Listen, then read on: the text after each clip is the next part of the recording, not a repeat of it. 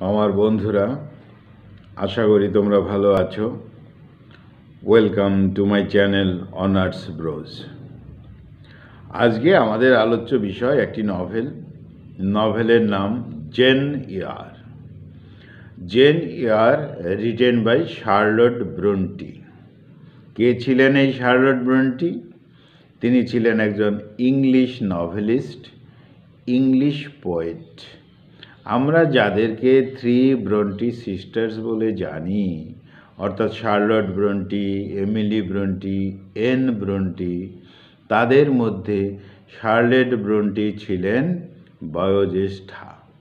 তাহলে শুরু করা যাক আমাদের আজকের নভেল জেন এয়ার এর একটি সাবটাইটেল রয়েছে Jane Eyre an autobiography It was written and published in 1847 Victorian এজের নভেল এটি আর এই নভেলটিকে শার্লট ব্রন্টি যখন লিখেন, তিনি ছদ্মনামে লিখেছিলেন, তখন তার ছদ্মনাম ছিল কারার বেল। যাই হোক, এই নভেলটির সেটিং রাখা হয়েছে নর্দার্ন ইংল্যান্ড। এবার নভেলের গল্পকথায় আসা যাক। এই নভেলের গল্পকথা শুরু হয় দশ বছরের মেয়ে জেনকে নিয়ে। দশ বছরের মেয়ে জেন। জেনের বাবা মার মৃত্যু হয়েছে, অর্থাৎ জেন এখন একাকিনী জেন এখন কোথায় যাবে, কি করবে? এবার জেন তার আঙ্কেল অর্থাৎ মামার বাড়ি গেটশেড হলে আশ্রিতা। অর্থাৎ জেনের বাবা মায়ের মৃত্যুর পর জেন যখন একাকিনী তখন জেন আশ্রয় নিয়েছে কোথায়? তার আঙ্কেল বা তার মামার বাড়ি গেটশেড হলে। যাই হোক, জেনের আঙ্কেল মিস্টার রিড এবং জেনের আন্টি মিসেস রিড। কিন্তু হঠাৎ দেখা গেল, মিস্টার রিড অর্থাৎ আঙ্কেলের মৃত্যু হয়ে গেল। এবার জেন থেকে গেল আন্টি মিসেস রিডের তত্ত্বাবধানে। কিন্তু দুর্ভাগ্যের বিষয়, এই মিসেস রিড, অর্থাৎ আন্টি, জেনের সাথে ভালো আচরণ করে না। জেনকে যেন তার কাছে এক বোঝা বলে মনে হলো, জেনকে কোনোভাবেই সে আপন করে নিতে পারল না। এমনকি মিসেস রিডের যে সন্তানগণ রয়েছে, অর্থাৎ জেনের সম্পর্কিত ভাই বোনেরা রয়েছে, তারাও এই জেনের সাথে ভালো আচরণ করল না। এক অসহনীয় যন্ত্রণার মধ্যে পড়ে গেল এই জেন। একদিকে বাবা মা নেই, তারপর আবার আঙ্কেল তিনিও মারা গেলেন। এবার আন্টির নির্মম আচরণে এবং সঙ্গে সঙ্গে ভাই বোনদের যে অত্যাচার, তাতে এক অসহ্য যন্ত্রণার মধ্যে পড়ে গেল এই মেয়েটি জেন। এমনকি এই দশ বছরের জেনকে বিনা কারণে শারীরিকভাবে অত্যাচার করা হতো। কে করত? তার আন্টি, মিসেস রিড। একদিন জেনের কাজিনের সাথে, এই মামাতো ভাইয়ের সাথে, জন রিট, জনের সাথে ছেলে মানুষ বিষয় নিয়ে ঝগড়া বাঁধে। ঝগড়া শুরু হয়ে গেল। ঝগড়াটা কিন্তু শুরু করল জন, কিন্তু পানিশমেন্ট পেতে হলো এই জেনকে। আর শাস্তিস্বরূপ এই ছোট্ট মেয়ে জেনকে red house, I mean red room, red রুমে বন্ধ করে রাখা হলো।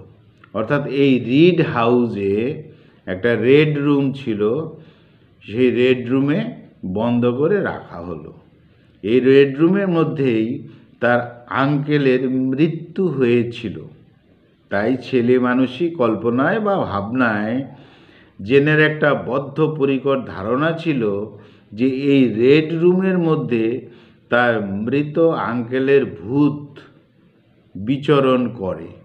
আর জেনকে যখন এই রেড রুমে রাখা হলো, তখন সে যেন ভূতের বিচরণ অনুভব করতে পারল। যাই হোক, জেন যথেষ্ট আতঙ্কিত হয়ে যায়, ভয় পেয়ে যায়, আর তার ফলে জেন অসুস্থ হয়ে পড়ে। অবস্থাটা তার খুব খারাপ হয়ে যায়। ডাক্তারবাবুকেও ডাকতে হয়। এবার ডাক্তারবাবুর সাথে কথায় কথায় জেন তার ব্যক্তিগত জীবনের কিছু সমস্যার কথাও বলেছিল। এবার ডাক্তারবাবু বুদ্ধি করে জেনের যে আন্টি, মিসেস রিড, তাকে বললেন যে, জেনকে একটা নতুন স্কুলে ভর্তি করে দিন। তাতে হয়তো নতুন পরিবেশে গিয়ে জেন ভালো থাকবে।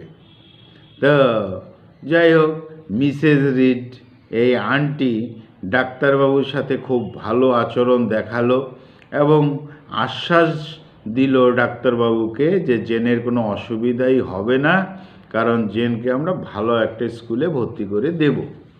যাই হোক, জেনকে আর ভালো স্কুলে ভর্তি করে দেওয়া হলো না।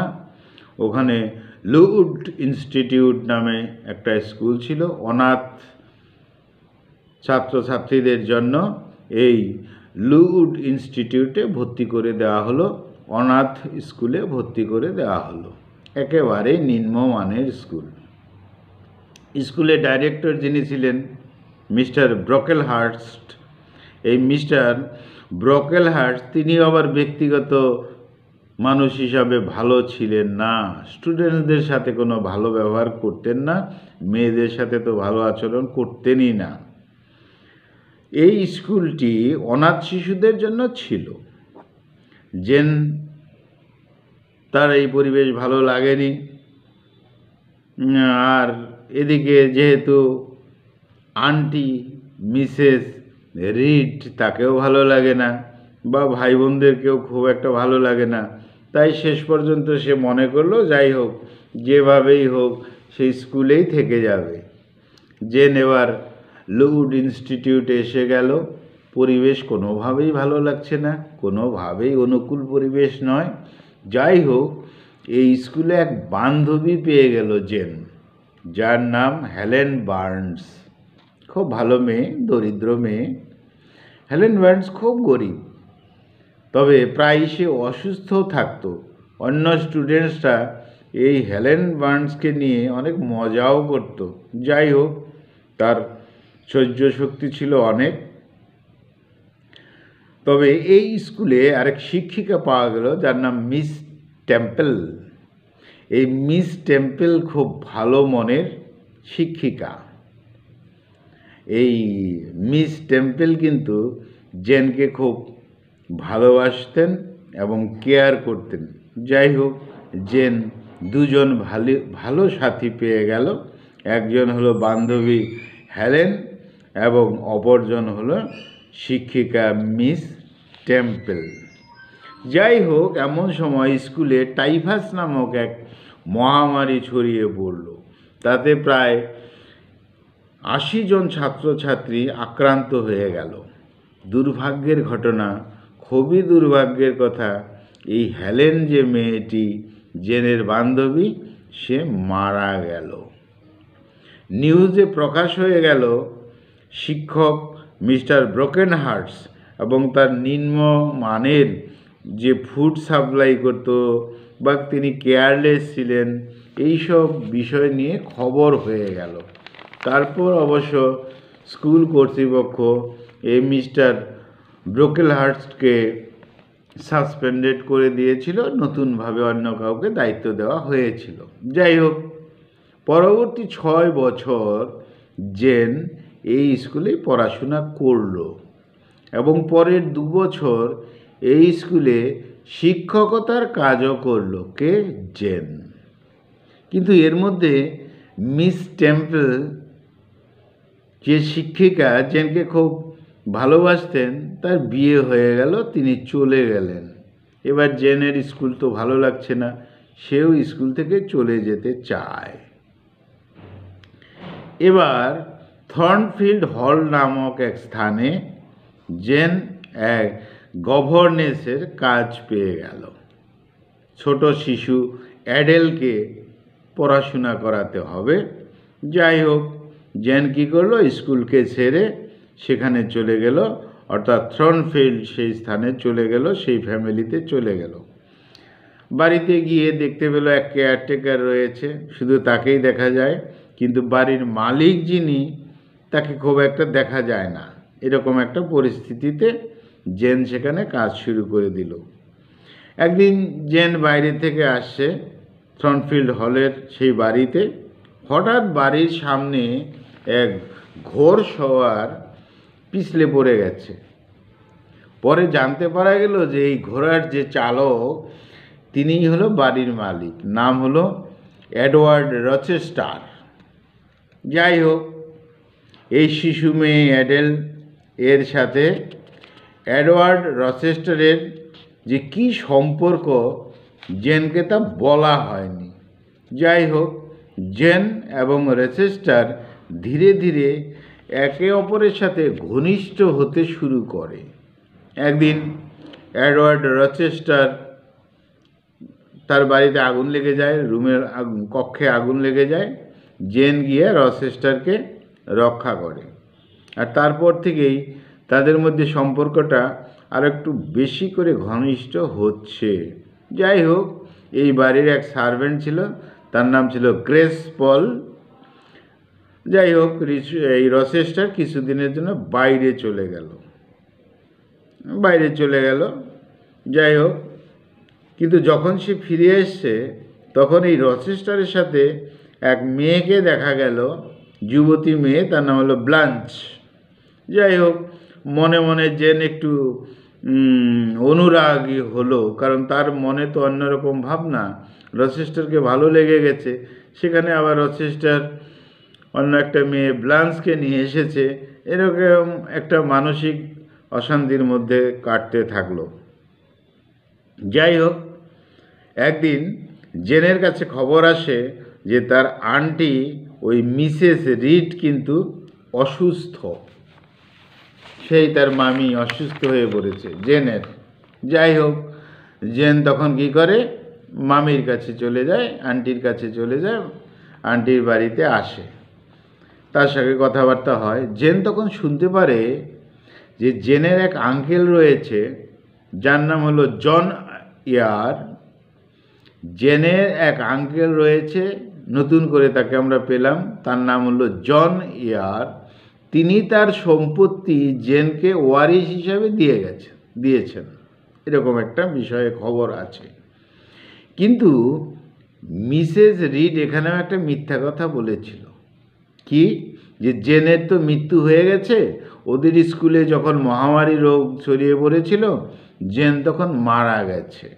তার মানে ওই অর্থটা যাতে আত্মসাৎ করা যায় এরকম চিন্তা কিন্তু মিসেস রিড করেছিল। যাই হোক জেনের এই কথা শুনে খুব দুঃখ হয় যে তার আন্টি বলেছে যে জেন মারা গেছে, এরকম একটা পরিবেশ নিয়ে। কিন্তু কি হলো? মিসেস রিড আন্টি কিন্তু মারা গেল। জেন আবার কি করল? ওখান থেকে থ্রনফিল্ড চলে আসে, তার কাজে চলে আসে। এখানে এসে জেন এবং রচেস্টার তাদের সঙ্গে একটা সম্পর্ক, গভীর সম্পর্ক যেটা শুরু হয়েছিল সেটা চলতে থাকে। কিন্তু ওই যে মেয়েটিকে নিয়ে এসেছিল তা নিয়ে কথাবার্তাও হয়, যাই হোক এরকমভাবে চলছিল। তো যাই হোক, এরকম জেন এবং রচেস্টারের সাথে একটা বিয়ের কথাও চলতে থাকে যে তাদের সঙ্গে বিয়ে হতে পারে। এবার জেন কি করল? তার সেই যে আঙ্কেল, মিস্টার জন, যে সম্পত্তি দিয়েছে, তার খোঁজ করল, তাকে চিঠি লিখলো যে হ্যাঁ আমি জেন, আমি জীবিত আছি। আমি বিয়ে করার মনস্থির করেছি মনস্থির করেছি। তা তুমি এখানে এসো ইত্যাদি ইত্যাদি বিষয়ে আঙ্কেলকে জানানো হলো। বিয়ের দিন প্রায় এসে গেছে। এমন সময় মিস্টার মেশন এক ব্যক্তি, সে কী করল? লয়ার নিয়ে আসছে। লয়ার নিয়ে এসে হাজির। তাদের বিয়ে হবে কিন্তু, অর্থাৎ জেন আর রচেস্টারের বিয়ে হবে, তার মধ্যেই এই ভদ্রলোক কী করেছে? তার লয়ার নিয়ে এসেছে। সে এসে বলছে যে, এই রচেস্টারের তো আগে বিয়ে হয়েছিল। সে তো দ্বিতীয়বার বিয়ে করতে পারে না। আমার বোন বার্থা, আমার বোন বার্থার সাথে রচেস্টারের বিয়ে হয়েছিল। তখন রচেস্টার বলে হ্যাঁ আমার বিয়ে হয়েছিল। এ কথা ঠিক, তবে আমার স্ত্রী যে বার্থা, সে পাগল। আর আমার বিয়ে বিভিন্ন কৌশল করে হয়েছিল বা কৌশল করে বিয়ে করানো হয়েছিল, অর্থের লালসায় এটা করানো হয়েছিল, এরকম অনেক সমস্যা রয়েছে। যাই হোক, জেন তখন পরিষ্কার বলে দেয়, যা হয়েছে হয়েছে, তবু আমি তোমাকে ভালোবাসি। তখন এই রচেস্টার বলে যে, জেন, চলো, আমরা এখানে আর থাকছি না, আমরা ফ্রান্সে চলে যাই, সেখানে গিয়ে আমরা হাজব্যান্ড ওয়াইফ হয়ে থাকব। জেন, এই বিষয়ে সম্মতি দেওয়ার মনে হলেও সম্মতিটা দেয় না, কারণ তো খ্রিশ্চান ছিল, সে ধর্মীয় বিয়ে ইত্যাদিকে পছন্দ করে। তো যাই হোক সে আপাতত সেই বিষয়ে অসম্মতি করল। পরের দিন সকালে জেন কি করেছে? ছনফিল্ড থেকে নীরবে চলে গেল। কোথায় হারিয়ে গেল? দূরে কোথাও চলে গেল। দুর্দশাগ্রস্ত অবস্থায় আবার জেন পড়ে গেল। যে আশা করেছিল সিস্টারকে বিয়ে করবে, তার মধ্যেও এই সমস্যা। অতএব না, আর এই সব জীবন আমি দূরে চলে যাই। কে চলে গেল? জেন দূরে চলে গেছে। যথেষ্ট অসুস্থ অবস্থায়, খাবার নেই, এরকম একটা অবস্থায় সেন্ট জন রিভার্স নামে এক পাদ্রির বাড়ির সামনে গিয়ে বসে। কে? জেন। কার বাড়ির সামনে? Saint John Rivers. তার বাড়ির সামনে গিয়ে অসুস্থ হয়ে পড়েই যায়। একেবারে মরণাপন্ন অবস্থা হয়ে যায়। যাই হোক, সেন্ট জন রিভার্স তাকে বাড়িতে নিয়ে যায়, আর ওই বাড়িতে ছিল এই সেন্ট জন রিভার্সের দুই বোন, একজন হলো ডায়না, আরেকজন হলো মেরি। যাই হোক, এই জেনকে একটা গ্রামের স্কুলে একটা ছোট চাকরি করে দেওয়ার ব্যবস্থা করে দেন এই পাদ্রি সাহেব। যাই হোক, পরে প্রকাশ হলো যে তার যে আঙ্কেল ছিল, জন আয়ার, এর সাথে সেন্ট জন রিভার্সের একটা সম্পর্ক ছিল। ভাতিজা সম্পর্ক। অর্থাৎ সেও তার অর্থ পেতে পারত, কিন্তু অর্থটা দিয়ে দেওয়া হয়েছে জেনকে। যাই হোক, তখন জেন এই সমস্ত কিছু শুনে তখন ওই সেন্ট জন রিভার্স তাকে এবং তার বোন ডায়না এবং মেরিকে তার যে অর্থ, তার থেকে কিছু অর্থ দিয়ে দেওয়া হয়। আর এই জায়গাটা ছিল মোর হাউস। যাই হোক এবার জন রিভার্স আর জেনের সঙ্গে বেশ ভালো কথাবার্তা হয়, ঘনিষ্ঠ হতেও শুরু করল, সম্পর্কেও কাজিন হয়, বেশ ভালোই। একদিন জন রিভার্স বলে জেন আমি তোমাকে ইন্ডিয়া নিয়ে যাব। আমি তো ইন্ডিয়া যাব, আমি তোমাকে নিয়ে যাব, তুমি আমার সাথে যাবে, চলো আমরা বিয়ে করব। জেন বলে অসম্মতি জানালো যে, না, এ কি করে হয়? যাই হোক, আমি যেতে পারি ইন্ডিয়াতে, তবে আমি তোমার বোন হিসাবে যাব। এরকম কথাবার্তা হলো। হঠাৎ জেন আবার সেই রচেস্টারের কথা মনে পড়ল। রচেস্টারকে আর ভুলতে পারছে না। জেন হঠাৎ করে রচেস্টারের বাড়িতে গিয়ে হাজির। কিন্তু গিয়ে দেখে বাড়িটি আগুনে পুড়ে ছাই হয়ে গেছে। বাড়িটি শেষ হয়ে গেছে। কি ঘটনা হয়েছিল? রচেস্টারের স্ত্রী যে বার্তা ছিল পাগল, সে আগুন লাগিয়ে দিয়েছিল। তাই বাড়ি একদম শেষ হয়ে যায়। যাই হোক, এই বার্তা আবার ছাদ থেকে লাফিয়ে পড়ে তার মৃত্যু হয়ে গেছে। রচেস্টারের এক হাত নষ্ট হয়ে গেছে এবং চোখ নষ্ট হয়ে গেছে এইসব আগুনের মধ্যে। অর্থাৎ তার স্ত্রীকে বাঁচাতে গিয়ে এরকম একটা প্রবলেম হয়ে গেছে অ্যাক্সিডেন্ট ইনসিডেন্ট হয়ে গেছে। অর্থাৎ রচেস্টারের এক হাত নষ্ট হয়ে গেছে, চোখ নষ্ট হয়ে গেছে। এবার রচেস্টার জেন দেখা হলো। দেখা হলে স্বাভাবিকভাবেই জেন দুঃখ প্রকাশ করল। কিন্তু রচেস্টারকে এখনও তো ভুলতে পারেনি রচেস্টারও ভুলতে পারেনি জেনকে। দুজনে হলো যে তারা তাহলে বিয়েই করবে। ঠিক আছে, তারপর তারা বিয়ে করবে এরকম সিদ্ধান্ত হয়ে গেল। ওই অ্যাডেলকে, তাদের মেয়ে যে বোর্ডিং হাউসে থাকতো, বাচ্চা মেয়েটা তাকে নিয়ে আসা হলো, তাদের সঙ্গেই থাকবে এবং পরে বিয়ে হয়ে গেল রসিস্টার এবং জেনের সাথে, তাদের একটা পুত্র সন্তানও হলো। যাই হোক, পরে এই জেনের সেবা, শুশ্রূষা ইত্যাদিতে কিন্তু রসেস্টারের চোখ ভালো হতে শুরু করল। বন্ধুরা, এই ছিল আমাদের আজকের novel Jane Eyre written by Charlotte Bronte. বন্ধুরা ভালো থেকো, আমার চ্যানেলটা সাবস্ক্রাইব করো, খুব ভালো থেকো, খুব ভালো থেকো, থ্যাংক ইউ থ্যাংক ইউ।